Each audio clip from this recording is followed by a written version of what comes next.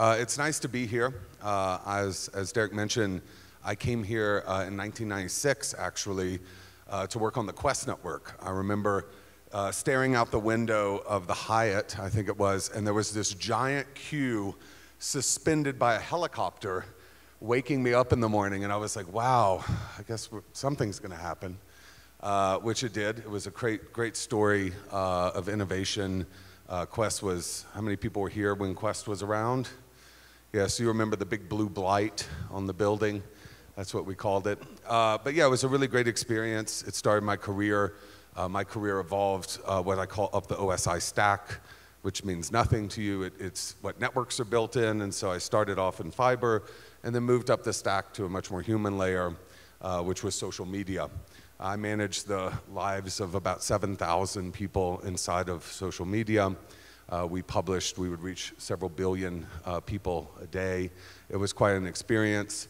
Uh, and uh, as Kat was talking about, uh, mental health had a lot to do with it because I had just sold my company in uh, December or in October of 2015 and had a crazy series of events of suicides. I had three suicides in a row, seven days apart. And so I kind of looked around and I was like, you know, what is, what is this all about? And why am I living in Hollywood for the last 20 years? And what really resonates with me as a person? And so I moved to Iceland. Uh, in 2011, I got a phone call from Bjork's management. Uh, she asked me to come over to help articulate her new career. Uh, it was during the time when record labels were, were kind of leaving the role that they played for artists, uh, and artists were kind of left on their own to build connections with their fans, and that's what I did uh, for a living. So I, I flew to Iceland uh, in October of 2011. I remember it was the worst weather I think I've ever been exposed to in my life. You know, there it would be a Category 5 hurricane, uh, and you know they called it windy. Uh, and so I'm like walking horizontally, and I, you know, the Bjork's management is like, look, you're not gonna be able to look at her, don't talk to her. She's on vocal rest. Cut to us almost naked in a fountain dancing at about three in the morning that night. So we bonded. Uh, I met a group of people uh, that were super cool, uh, and uh, I just became fascinated as a gay kid from Mississippi with this weird volcanic island in the middle of the Atlantic. And so after this series of events and moving to Iceland and suddenly we bought a museum on the ocean and we were like, whoa, this is, this is all happening very quickly. My parents were like, you're gone crazy.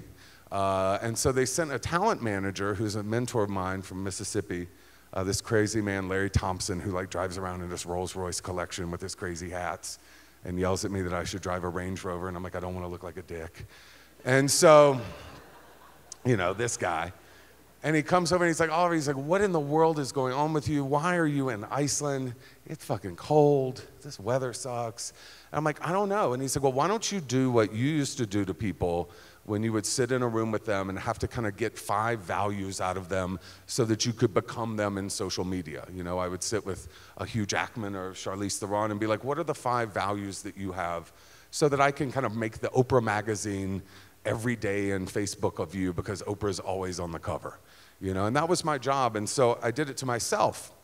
And what I discovered is, is that I discovered that I really valued democracy and humanism. And humanism is a very interesting concept because people don't view it as a political concept or you know, as a societal concept necessarily. They don't really don't even know what it means. But when Iceland's economy collapsed in 2008, um, as a lot of Nordic cynical people do, uh, they went out in the streets with pots and pans. It was called the Pots and Pans Revolution. And they banged on the pots and pans until Parliament was kind of sick of it. And there was this comedian uh, who came up out of nowhere uh, to be in politics uh, named Jon Gnarr. His son, Frosty, is over here. Uh, well, Frosty was over there. He's already heard this. He's probably out back, you know, avoiding this. Uh, but his father, Jon Gnarr, um, was a comedian who ran for an election. It was the first political party ever uh, to appear uh, out of social media. So I was kind of fascinated with it. I worked on Obama's uh, campaign uh, after Hope and had built the social architecture there. So I really had a love of kind of how you know democracy could flow through social systems. That is not the case today, people. Uh, it is rigged. Uh, I can tell you, I can tell you, it's fucked up. Uh, and so, but you looked at Iceland, and Iceland had this crazy history of being humanistic. And so uh, Jon created a political party called the Best Party, named after Tina Turner's Simply the Best, and won in a landslide. And so now there was this young woman who thought he was running for parliament, but really was now the head of Reykjavik city, and this man, and they're running the city now, and they're redoing the energy contracts, and they were really serious. I mean, it was, it was a really interesting point. But the point of this is he wrote, and you can Google it, he wrote an amazing treatise on humanism. And it just talked about how we should listen to old people and women more, and we should do these things, and it was all very funny. But he had this great line that said, We should participate in corruption openly, and therefore it will just be business. And so out of that, I was like, wow, that makes sense. So why don't I go into the most corrupt industry in the world, seafood, and participate in it openly and transparently? And so the next thing that Iceland has is a lot of culture, right? And I don't, you know, growing up as a kid in Mississippi, if I was doodling in my notebook, I was a faggot. And if I was playing on the guitar, I was a burnout hippie, which was on my way here. And, uh, and so, you know, uh, in Iceland, they celebrate it. You can have music lessons until you're dead uh, for free, and they, they really focus on the culture of it. That's why we have such amazing artists like Bjork and Sigur Rós and Kaleo and of Monsters and Men, and you know, the list goes on. Iceland only has 350,000 people. There are, less, there are fewer than 1 million Icelanders in human history, and they're all related. It has a super connected society. Uh, you have uh, unbelievable bandwidth. It, it, really is a different world when your phone works. Uh, it's pretty amazing. But what it also has is a cohesive community and thread. I think it has a lot of similarities, for instance, to Denver. You know, things like these programs that, that you know, and that's why we're partnered with people like Seattle Fish because community matters to them and they, you know, they put their effort behind that. And so community has really kept a cohesive society, a society where you have 90,000 guns and no gun crime, zero gun crime, right? So it's not about that, it's about the community as well. And then you also have the most sustainable place on earth. Uh, zero hydrocarbons are burned on the island for fuel. It's all geothermal and hydroelectric.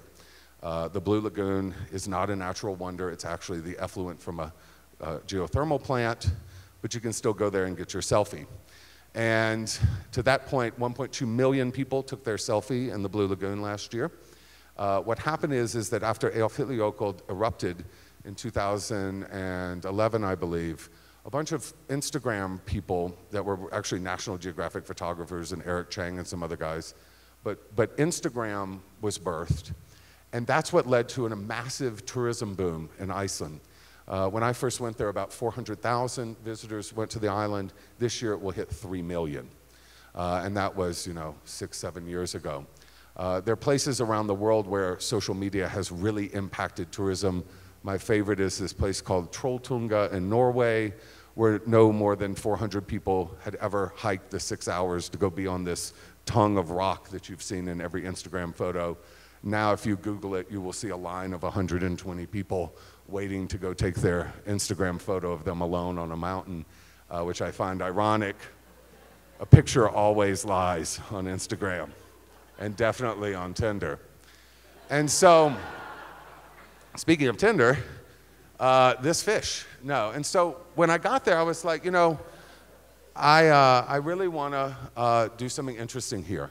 Uh, Walt Disney was my hero uh, when I was eight years old. Um, that's why I'm wearing a Paramount t-shirt. I was like, it's pretty ironic. Uh, Walt Disney was my hero when I was eight. My dad took me uh, to Epcot, and like I thought I was so special. Like we snuck out, you know, and went and saw how they would clean it with the power washers. I was eight, you know. I was really excited about that. And then when I was 15, I won the Science Award uh, for discovering a region on the human platelet uh, at the the uh, ISEF, which is sort of like the spelling bee, but the science part version of it. And so I won that at uh,